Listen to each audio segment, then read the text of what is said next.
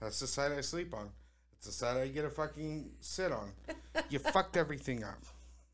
I used our safe word, but she ignored me and just kept giving me hand jobs. I don't know what to say to her now. I wouldn't don't have. I wouldn't have called anyone out of being embarrassed that I missed my flight that I was there 2 hours early for. It. I'd be like, "Yep, nope, I'm on that plane. Going to lose service. Bye, click." Airplane mode. Like total shame. This is how you get lifetime movies. Scenarios like this, and that bitch is gonna kill him. After a couple more years, she's gonna kill him. Oh, and then it's snap. boom, lifetime movie. Yeah, if you create this list You and gotta- then you don't follow through, you better be on top of your shit. You gotta, you gotta be the one that follows it, Yeah. hands down, because You created it. you're the idiot who created this list. Yeah.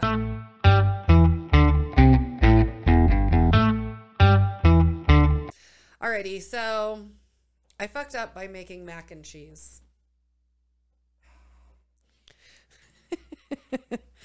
my new husband and I had to move in with my parents unexpectedly two days after saying I do. It's pretty stressful and my sleep is all messed up. So it's midnight and I'm doom scrolling. So I went to the kitchen to make some mac and cheese like 20 minutes ago. Mom and dad had music blasting outside, laughing, whatever. This is nothing new for them. They were drinking at a friend's house and came home tipsy. I looked out the door to tell them it's supper or it's super loud and turn it down. And I saw the full frontal naked getting out of the pool. I left my mac and cheese in the microwave and ran to my bedroom like a traumatized child. My husband is dead asleep, and I'm so hungry and nauseous at the same time. If you need me, I'll be bleaching the sight of pubic hair and paternal peen from the folds of my brain. They were just naked in a pool. Your You're in their house. Your parent. No, no, no. She's not saying that what they did was wrong. She's mad because she saw it. Well, I don't know. I Would the would physically seeing your dad get out of the pool naked not traumatize you some? I wouldn't think I'd have to bleach my eyes. I mean, you know, if they're partying in the pool, leave them be. It's their house. She did. All she did was look outside. She told him to turn down the music. That's their fucking house. They can do whatever they she want. She said she was going to. no, she said Nope. I Looked looked out out the the door door, to to, tell tell them- them it's super loud and turn it down, and Oh. I saw them full frontal naked getting out of the pool. Well, that's still her fault. Well, yeah. They can turn up some ACDC and fuck in the pool all they want. it's their house. She never said that they couldn't. She just said it was traumatizing. Well. that is traumatizing. It is. Yeah. It's so funny. And then who the fuck microwaves mac and cheese? Huh? I know somebody. Who? Oh, I don't. Oh my god. Who? They actually no, they actually have the Kraft mac and cheese like in the individual thing that all you do is microwave. And I know this because of that person. like it has the cheese and the fluid and everything already mixed. You just Fluid. that was so gross sounding. The fluid. well, you I don't know. I You use water, Yeah, you or you use, use water, like milk or it- cream? It's like um, I think because I've only seen them, but I think you like peel part of the top up, you pour like the water in it, and then you you know put it in the microwave, whatever, and it's kind of like Like cup of ramen. instant ramen. Yeah. So it's like that. Yeah. what the fuck? I love how that's how that's the most. I thought that I would be the most outraged by the microwave mac and cheese, but you are like we haven't even had a microwave in ten years. I don't because I it. hate them, but yeah, That's crazy.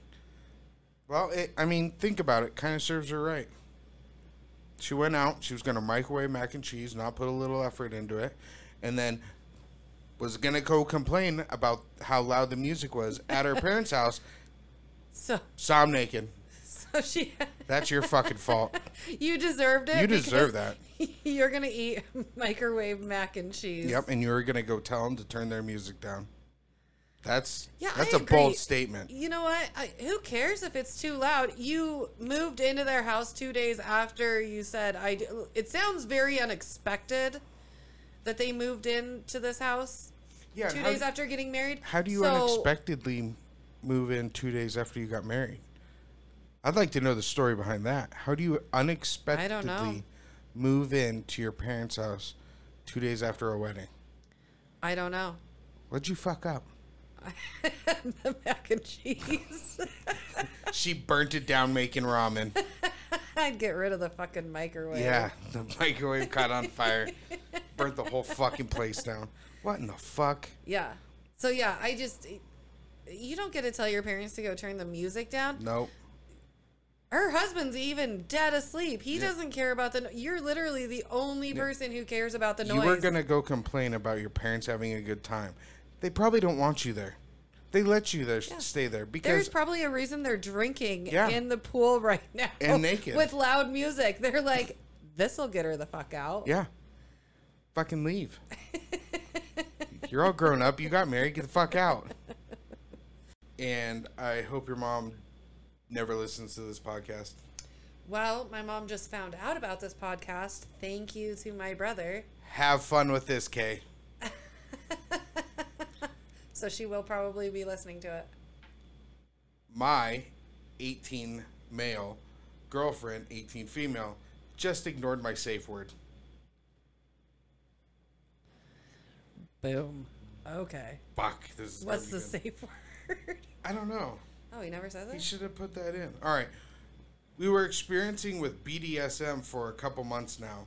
Last night she told me that she wanted to see she wanted to see how many orgasms she can force me into and tied up.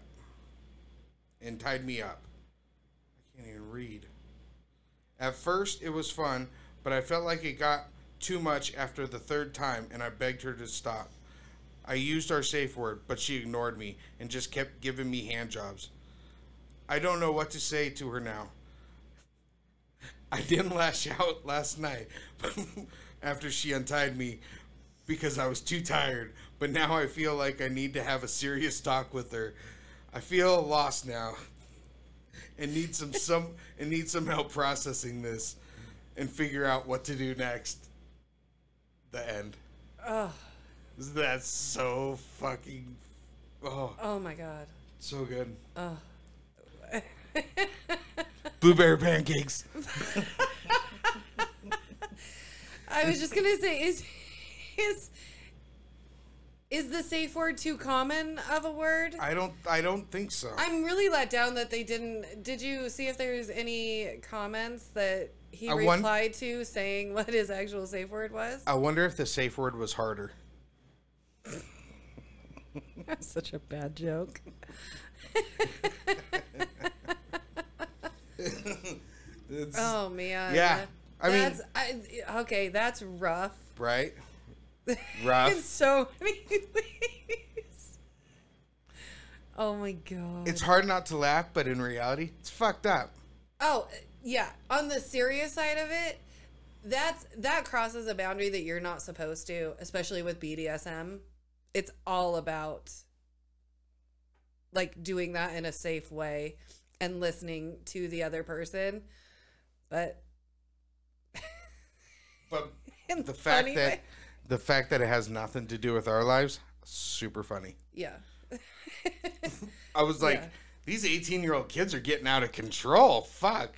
uh, you know, it's yeah, it's it, it's because like that's what they see and they're so desensitized to porn Mhm. and what it actually is that and and what real sex is. I watched a whole documentary on it. Get yeah, you imagine that. Oh my god. Yeah. And it was actually about um they interviewed kids with their parents and the kids were like 16 and they're sit they're sitting there with one or both their parents and they're asking them questions like they would show them a video all of them a video and like the kid would be oh well that's not that big of a deal or that's not like hardcore or anything and the parents are like what just happened and the kid is sitting there and just saying yeah that's not that's mild for what i see Jesus Christ. yeah so i mean you're 18 and that's what you're looking at there's not I don't know. It's scary where you go beyond that stuff. I think you told me about this documentary, Yeah. and I didn't even want to watch it. Well, it, it had nothing to do with that, but I'm like, super weird that they're sitting there watching porn with their parents for a documentary. No, I, they're not sitting there watching it for an They were hour. talking they're, it. They're just, they're just, uh, it was like a small clip. Ugh, no. you know, like you watch like maybe 30 seconds of it and then they would talk about and that wasn't throughout the whole thing. They were asking him a lot of questions and it was very interesting because you think about it and you think about the access that you used to have when the internet wasn't what it is today and Mhm. having to be 18 and putting credit cards in and this and that. I mean, you weren't going to steal your parents' credit card and charge porn to it. No. So nowadays that it's completely free and you can look up so many things. Kids are just so desensitized to it. That's crazy. Yeah. Okay. You got a good one for me? It's titled Unbelievably Selfish and Entitled. Fuck yes. My husband dropped his mom off at JAX airport this morning at 4:30 a.m. for her flight at 6:30. Guess what she did? She missed her flight. It was entirely her fault, and now she's making it our problem. As a courtesy, JetBlue offered to put her on a flight at 9:55 a.m. to Fort Lauderdale, but her flight to return to New York wouldn't depart until 5 p.m. and she would be back home around 11 p.m. Of course, she didn't want to wait several hours at the airport, so she refused the option and wants my husband to come get her at the airport so that one of his uncles, who was staying at our house and didn't plan to leave until later, could drive her back to New York. But here's the thing even if she drives back, she would still get there around 11 p.m. anyways. She's making it a massive inconvenience to that uncle, and out of kindness of his heart, he agreed to drive her up, but wants to do what he had planned before doing so. So she has the nerve to whine and complain. We brought her we bought her ticket as a present, plus paid for her extra baggage, and we can't even get our money back for that. I just can't even deal or rationalize in what universe this makes sense. The amount of brain cells she has left, if any, to come up with something this stupid. Fuck. How do you deal with a person like that? She doesn't want to. I I just tell her to rent a car then. Yeah. Drive mm-hmm. yourself. Drive yourself. You can fucking complain the whole way to yourself. Yeah. This Why would you along- just not sit there for another two hours, hop on the next flight, and go? Well, and if you were there two hours early before your flight, How'd you miss how it? How did you miss it? Was she in the bar drinking? Ooh, I don't know. Some places don't serve alcohol until like eight o'clock. So Yeah, you never know. Never but know. It, this again goes along with the brother and the packages yep. because you allow it, and somebody she's not doing it, but somebody is like, okay, well, I'll you know I'll drive you then. Mm-hmm. No, Yep. no, Big- you don't give in to this type of stuff. Big inconvenience. That's wild. Yeah, I can't believe that. yeah, I yeah I would just no. Yeah, I just hop on the next flight, figure it out. Yeah, I would have been. Well, it's your fault. Now you have to pay for whatever flight you're going to because you declined to get on a different flight. You're getting home at the same time. Yeah. That's the point. You're getting home at the same time. So, yeah, You can't talk rational to people like this. In their head, they're right. you can't even fix though stupid. you can't fix stupid. e- even when it's in their head, they're wrong. They're right. They're right. Yeah, Bonkers. I know. I couldn't imagine. I know. To then drive back to Well, I the mean, we could imagine. We Yeah. can definitely imagine. We know entitled people, but you and I have just decided to not deal with it. Our answer is just no. Yeah, figure it out. Yeah. Put on your big boy pants. Figure it out. Yeah. Yeah. God, I know. that'd be hard. You got Well, and it's you know, it's your mom. Yeah. So you do feel like you should do something. But if they're being irrational, it's it's their fault for missing the flight in the first place. they're the ones who chose to decline being Mm-hmm. on a later flight. So now it's all up to them to figure it out. Yeah. That's it. Yeah, they definitely have to. Why would you not just sit there for another two hours and hop on another flight? I don't, I don't get know. that. I I wouldn't don't have. know. I wouldn't have called anyone out of being embarrassed that I missed my flight that I was there two hours early for. It. I'd be like, "Yep, nope, I'm on that plane. Gonna lose service. Bye. Click. Airplane mode. Like total shame. I can't tell anyone that I missed this flight. Yeah, but the problem is, is you're not getting home until eleven o'clock at night. They don't need to know that. They're not there to pick you up. No, they're not there to pick you up. But in my family, we call when we land and everything. So Then you pay the five bucks a minute. Yep, landed. Click. on the plane, the Can't plane talk to you phone- anymore. Bye. Yeah. You got to suck it up when you're that dumb. All right. I read my mom's text with my brother and found them talking crap about me. Of course. All I did was all I did was type weed into the search bar, which I only smoke, and found my mom's messages with my brother where he's calling me names and telling my mom to kick me out. She hasn't, but she didn't defend me in the messages. She just said, "I know, and I've spoken to her." I know it was an invasion of privacy and I shouldn't have done it, but it's really upsetting me. Well, don't know how old she is. No. And she she was going through it's confusing because she's she saying just she picked up her mom's phone and typed in weed why? in the messages. just to see what popped up? Yeah, Oh. that's what I'm saying. It's completely her fault. It's pretty smart for a stoner.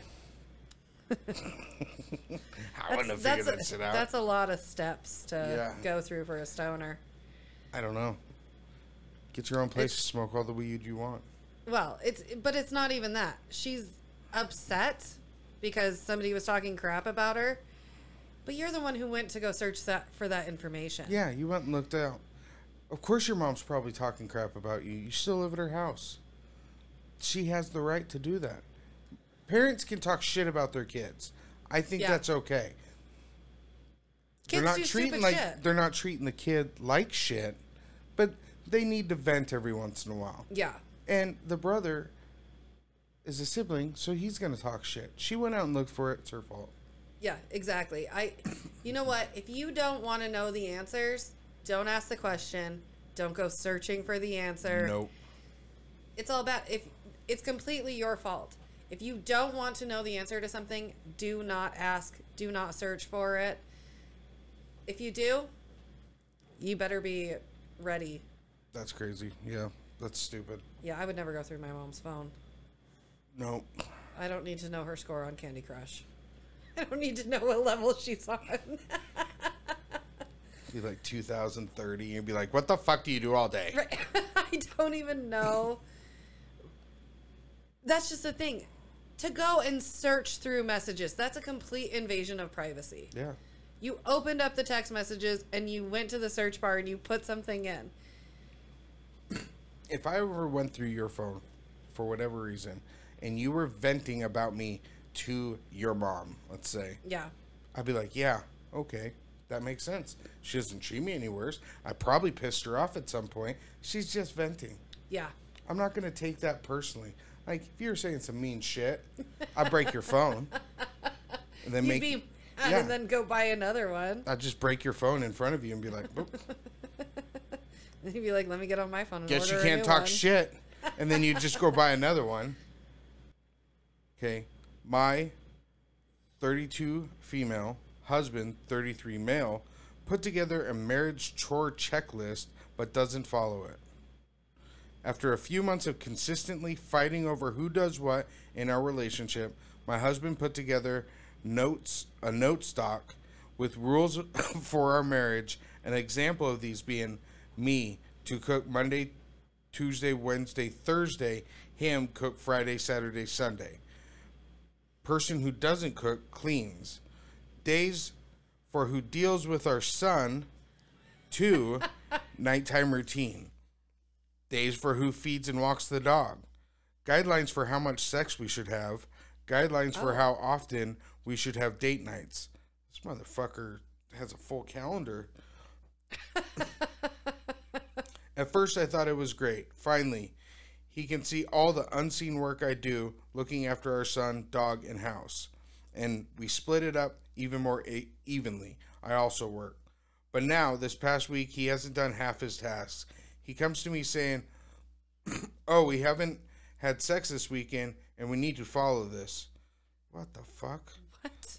Look, I'm all for scheduling sex at I'm all for scheduling sex as unsexy as it is, but we have a toddler.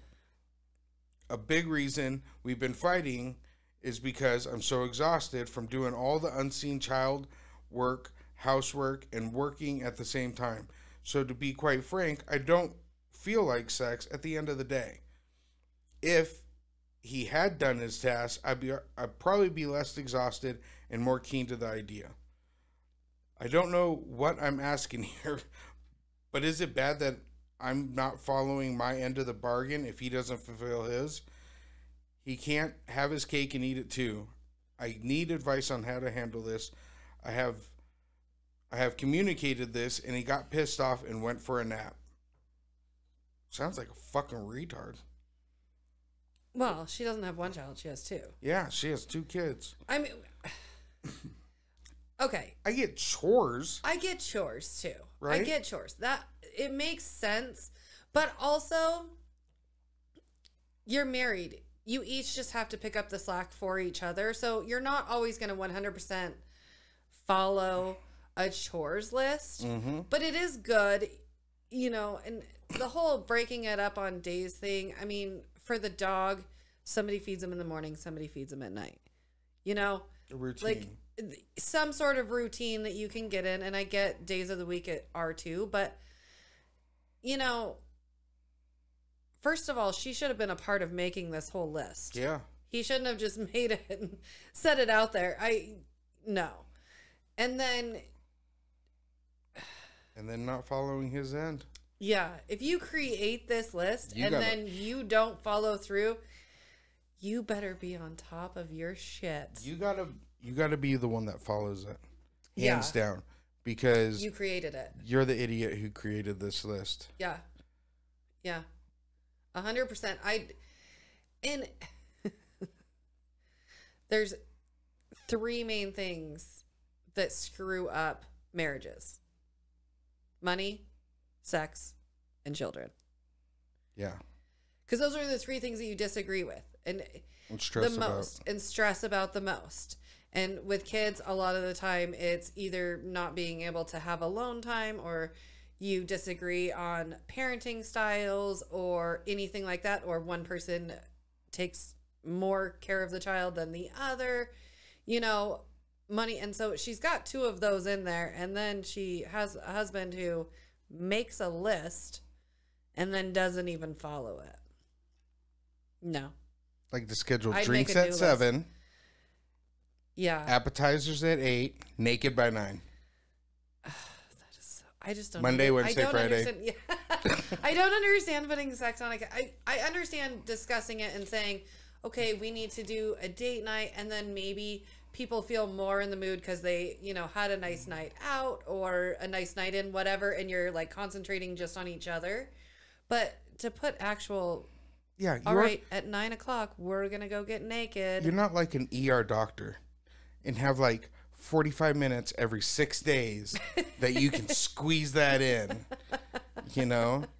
If you're working nine to five, you got tons of time. Yeah. I don't know.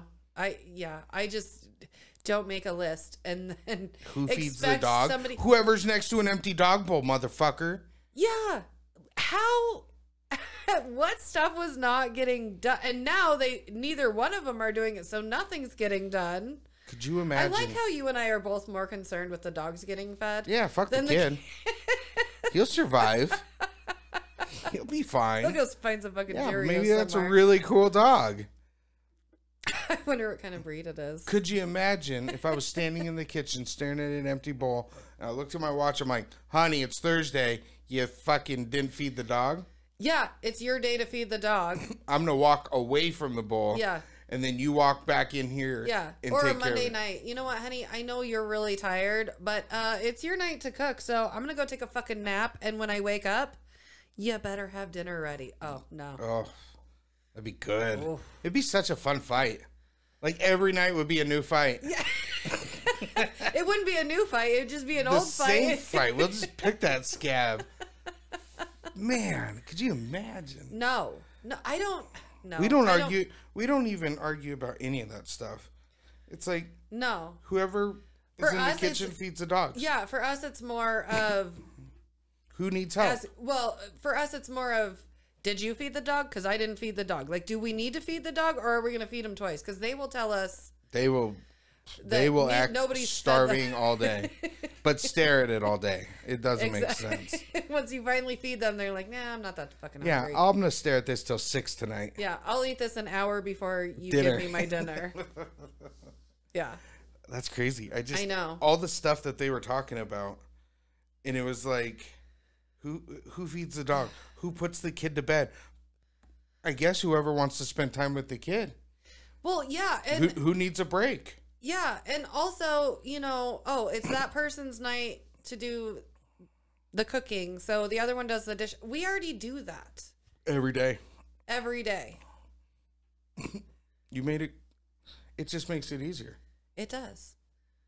You And if you have somebody in there cleaning while you're cooking, and all you have to do after that meal is put whatever you ate on in the dishwasher, and you're done. done. And the kitchen's clean, and you're still.